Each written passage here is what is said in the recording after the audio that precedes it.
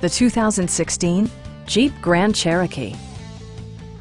It features an automatic transmission, four-wheel drive, and a refined six-cylinder engine. Top features include power front seats, variably intermittent wipers, a built-in garage door transmitter, turn signal indicator mirrors, a power liftgate, a roof rack, and remote keyless entry.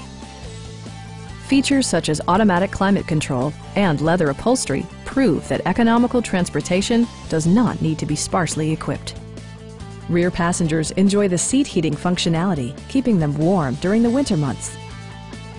In the event of a rollover collision, side curtain airbags provide additional protection for outboard seated passengers.